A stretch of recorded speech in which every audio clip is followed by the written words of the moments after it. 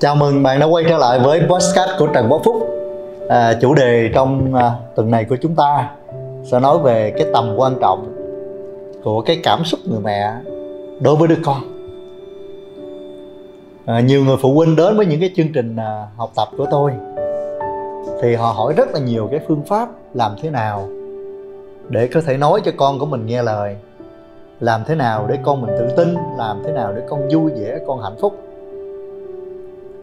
à, nhưng mà ít khi một người phụ huynh nào hỏi rằng làm thế nào để em vui vẻ có thể đồng hành và nuôi dạy con tốt?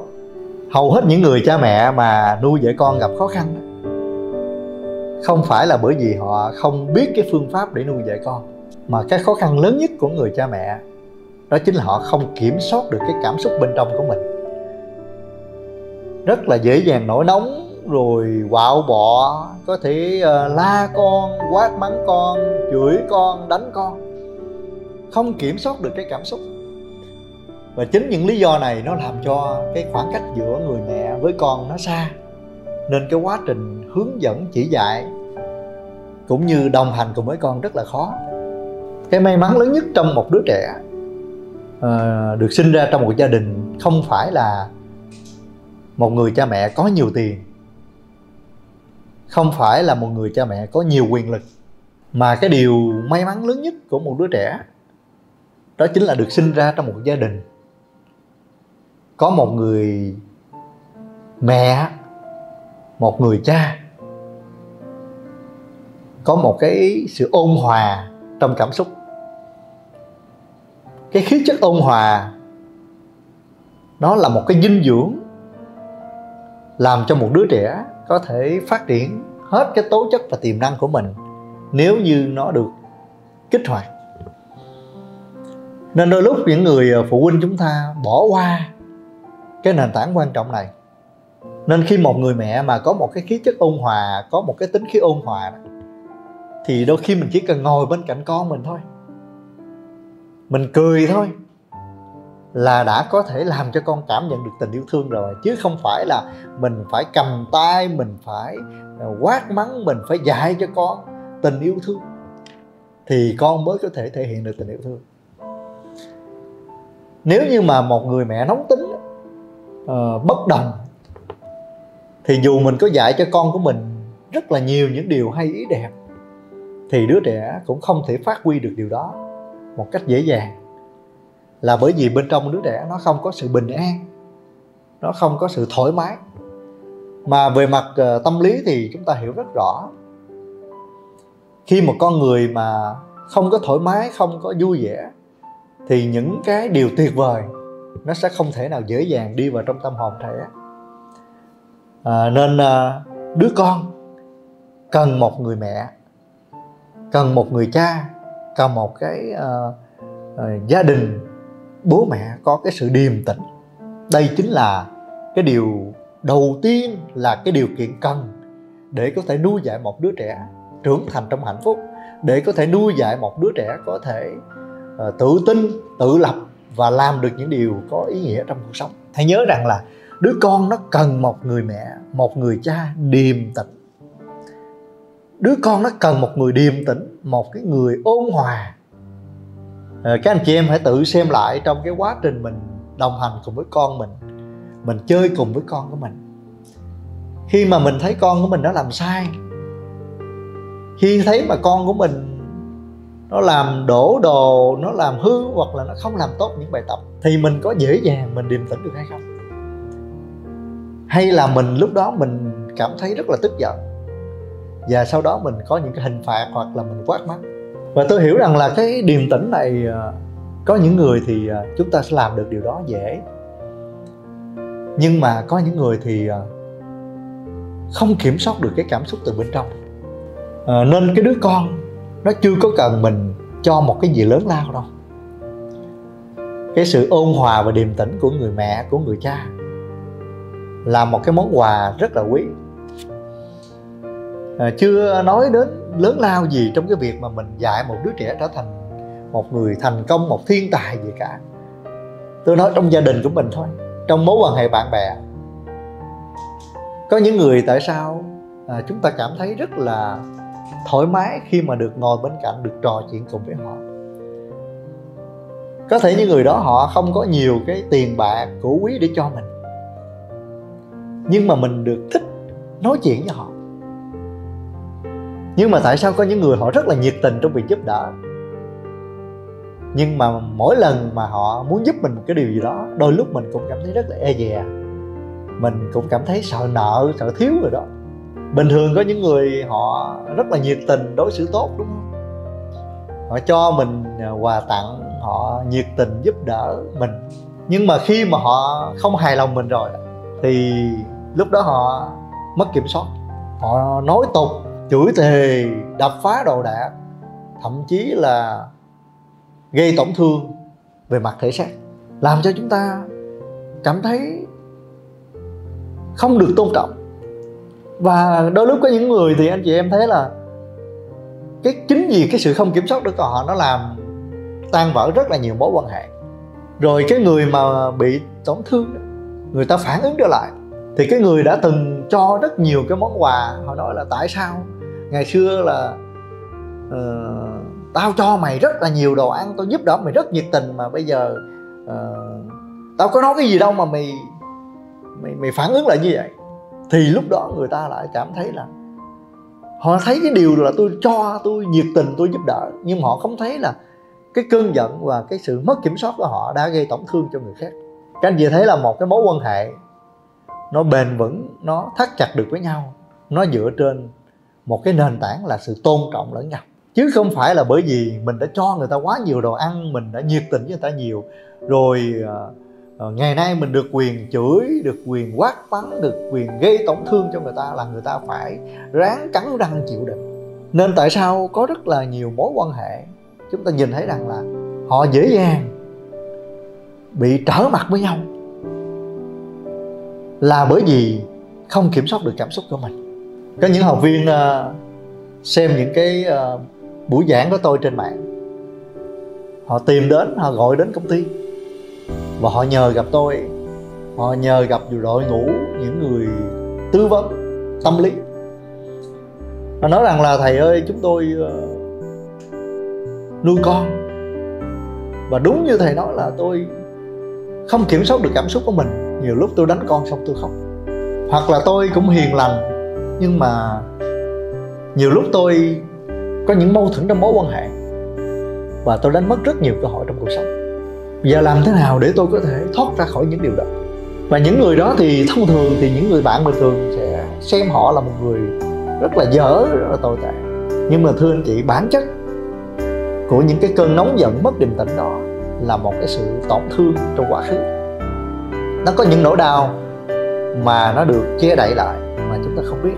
Và đó lý do tại sao có những người làm những công việc à, truy vấn và thăm vấn tâm lý, cũng như là huấn luyện viên, để chúng tôi có thể giúp cho họ có thể thoát ra khỏi những cái cảm xúc, những cái trải nghiệm xấu đó, và có thể tự tin, vui vẻ, bình an và làm việc. Có một phụ huynh rất là tức giận. Cô ta không thể nào kiểm soát được cái cơn giận của mình với cái người giúp việc và cô ta đã đuổi cái người giúp việc mình đi rồi. Nhưng mà mỗi lần về nhà cô ta nhìn thấy cái bếp à, và nhìn thấy cái đứa con mình. Cái vết trầy trên đứa con là cô ta tức giận. Và cô ta hả giận bằng cách là mua cho mình một cái bao cát để đóng vào nó. Và cô ta kéo dài cái điều đó gần 6 tháng trời cho đến lúc mà liên hệ đến chúng tôi để gặp đội ngũ chuyên gia tư vấn. Thì chúng tôi đã đưa ra được một cái quy trình chỉ trong vòng một giờ đồng hồ là đã có thể giúp cho chị ấy không còn tức giận nữa. Và lúc đó chị ấy sẽ cảm thấy rất là thoải mái, về đến nhà nhìn đứa con, cũng đứa con đó, cũng cái vết trầy trước đó nhưng mà không còn cái sự căm phẫn bên trong tâm hồn nữa. Và tôi muốn nói điều này để chúng ta thấy rằng là những cái cơn giận đó nó có thể ảnh hưởng đến cái sức khỏe, tâm lý của mình rất là nhiều và cái đứa con nếu như ở bên cạnh những người cha mẹ giống như vậy thì con sẽ cảm thấy rất là căng thẳng và áp lực. Nên việc đầu tiên của ờ, chúng ta hãy nhớ một điều rằng cái đứa con nó cần một người mẹ điềm tĩnh. Và nó có một cái công thức rất là đặc biệt 100 trừ 1 bằng 0 Tại sao 100 trừ 1 bằng 0? 100 trừ 1 nó phải bằng 99 chứ. Trong toán học á, thì 100 trừ 1 bằng 99 nhưng mà trong mối quan hệ ở ngoài đời 100 trừ 1 bằng 0 à, ờ, cái công thức 100 trừ 1 bằng 0 này nói lên rằng bạn làm 100 việc tốt nhưng có một việc mà bạn không kiểm soát được cảm xúc của mình thì nó có thể biến 100 việc tốt đó trở thành số 0 trở thành vô nghĩa. Cái tầm quan trọng của cái cảm xúc ấy, nếu như mà mình không có một cái khí chất ôn hòa, dù mình làm rất nhiều điều tốt, rất là nhiều điều tử tế, nhưng mà rồi một ngày nào đó, mình sẽ thấy rằng là tại sao? Tôi làm rất nhiều điều tốt cho người này, cho người kia. Nhưng mà giờ đây người ta không có quý tôi, người ta không tôn trọng tôi, người ta không tăng chức cho tôi. Là bởi vì cái tính khí của mình không có ôn hòa, không có điềm tĩnh. Cái đứa con của mình cũng vậy. Mình có thể nuôi dạy con mình có thể sinh con mình ra, mình thương con mình rất là nhiều. Nhưng mà bởi vì mình không giữ được cái sự ôn hòa, nên đôi lúc mình không kiểm soát được cái lời nói và cái hành động của mình. Có thể mình quát mắng rồi có thể mình la rất là lớn. Có thể mình thể hiện cái tông giọng rất là cấm phật rồi sau đó mình thấy cũng sai. Và tại sao có những đứa con là nó thương á, cha mẹ. Nhưng mà nó không thích gần cha mẹ của chúng. Tình thương là nó có nha. Về mặt lý trí về mặt à, à, mối quan hệ gia đình thì đứa con nó thương cha mẹ. Nhưng mà nó không dám gần cha mẹ là bởi vì bên trong nó có những nỗi sợ. Cái nỗi sợ đầu tiên dễ thấy lắm là nó cảm thấy cha mẹ nguy hiểm quá, có thể chửi mình bất kỳ lúc nào, có thể quát mắng mình bất kỳ lúc nào. Thôi ở gần như vậy thì cũng giống như là mình ở kế bên một đống lửa, đôi khi nó phỏng tay, nên đứng nó xa xa chút xíu. Thậm chí nó về nó gặp mình, nó cũng không biết là tâm trạng mình đang vui hay buồn, nó cũng không dám cười. Nó cũng dám chào, thì nó lãng lãng tốt nhất là nên không đụng chạm vào nhau, không va vào nhau mắc công gây tổn thương. Bây giờ nhiều lúc cười mà ngay cái lúc mà cái người mẹ, người cha không vui, cũng cự, cũng la. Mà không cười, không nói gì, không biết nói gì thì cũng bị la, thôi tốt nhất là im lặng. Hoặc là tại sao nó cũng không nhận cha mẹ. Là bởi vì cái lúc mà mình không có điềm tĩnh, mình không ôn hòa đó, mình đâu có kiểm soát được cảm xúc đâu. Và chính vì mình không kiểm soát được cảm xúc như vậy đó, nên là đôi lúc mình sẽ nói những cái lời, mình có những hành xử nó thiếu cái sự tôn trọng đối phương. Có thể đó là một đứa trẻ. Nhưng mà mình không có tôn trọng con mình mình có thể chỉ tay vào mặt con mình. Mình có thể dùng những cái lời coi thường con không có tin tưởng con chê con hoặc là xúc phạm đến những cái uh, riêng tư của con. Và nó làm cho đứa trẻ nó không có thù cha mẹ nó có thể giận. Con vẫn có thể thương được nhưng mà thật sự là con không dám gần cha mẹ. Là bởi vì nó sợ tiếp tục cái điều đó tái diễn nữa. Nó không có được thoải mái. Hoặc cũng có thể là mình không có cái sự điềm tĩnh, nên đôi lúc mình không có thể nào mình học hỏi được những cái kiến thức để mình áp dụng vào. Mình cứ tức lên là mình la một trận cho nó đã. Mình quát mắng, mình đập phá cho nó đã nên chính vì thế cái đứa trẻ nó cảm giác là nó không có thoải mái khi ở bên cạnh. Và đó là lý do tại sao chúng ta thấy là có nhiều người là thà họ ở xa xa, nó còn thương nhau, nó còn quý. Nó ở gần cái về nhà được ở thời gian cái trầy trụa tùm lum tà la hết. Không phải là bởi vì họ xấu bụng, mà là bởi vì không có sự điềm tĩnh không có cái sự ôn hòa trong cảm xúc. Và chúng ta thấy là cái người Việt Nam mình là hiền lành, tốt bụng, nhiệt tình. Chỉ có điều là không có kiểm soát được cái cảm xúc mình. Thì đơn giản là do cái phương pháp giáo dục. Đây là một cái câu chuyện của chiến tranh, của quá khứ, của một cái chiều dài lịch sử mà chúng ta được giáo dục với nền tư tưởng thương cho roi, cho vọt, ghét cho ngọt, cho bùi. Đứa trẻ nó bị đánh nhiều quá, nên trong người nó dễ tức giận. Đụng cái là nó chửi, trời đất ơi, đủ kiểu hết. Nên chính vì lý do đó, cái đứa trẻ nó cần một cái người mẹ mềm mại, điềm tĩnh. Cái sự mềm mại, điềm tĩnh. Tôi còn nhớ có một cái câu chuyện là chính đứa con của tôi lúc nhà tôi nuôi một cái hồ cá, cái hồ non bộ đó. chúng tôi có thả những cái con cá vào bên trong.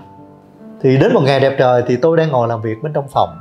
Thì à, tôi mới nghe vợ tôi la lên, kêu tên con tôi.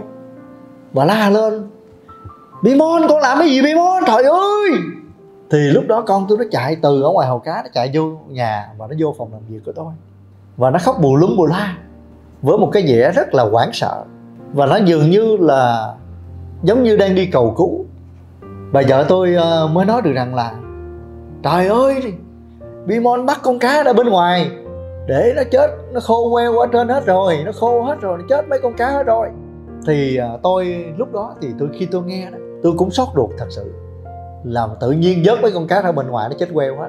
Và với cái phản ứng mà thông thường ở bên trong của một người bình thường, thì thường mình sẽ cảm thấy rất là khó chịu và mình sẽ hỏi, trời ơi, tại sao con bắt nó vậy? Mình sẽ la lên. Nhưng mà cái điều mà tôi cảm thấy rất là may mắn, rất mừng, là ngày hôm đó không biết sao tôi hên. Chứ không phải là tài giỏi gì. Và tôi thấy con tôi nó đang rất là hoảng hốt, nó chạy vào. Thì tôi mới dịnh vai con tôi và tôi hỏi, Bimon Bimon, dường như con đang nghiên cứu và con đang trải nghiệm cái gì phải không con? Cái câu hỏi của tôi là, dường như con đang nghiên cứu và con đang trải nghiệm cái gì, phải không con? Dường như con đang nghiên cứu và con đang trải nghiệm cái gì, phải không con? Và khi tôi hỏi cái câu hỏi, dường như con đang nghiên cứu và con đang trải nghiệm cái gì, phải không con? Thì sau đó con gái tôi đã trả lời. Và khi mà tôi nghe cô ấy trả lời xong, tôi muốn khóc luôn đó. Tôi muốn rơi nước mắt. Cái cảm xúc muốn rơi nước mắt của tôi lúc đó là bởi vì tôi phát hiện một cái bí ẩn đằng sau cái việc mà con tôi làm. Thì lúc đó con gái tôi mới trả lời như thế này nè. Dạ khi tôi hỏi là dường như con đang nghiên cứu và trải nghiệm cái gì đó phải không con? Thì lúc đó con tôi mới vừa khóc vừa trả lời dạ con định cho những cái con cá nó ăn. Con bắt nó ra bên ngoài. Sau đó con lấy thức ăn con cho nó ăn.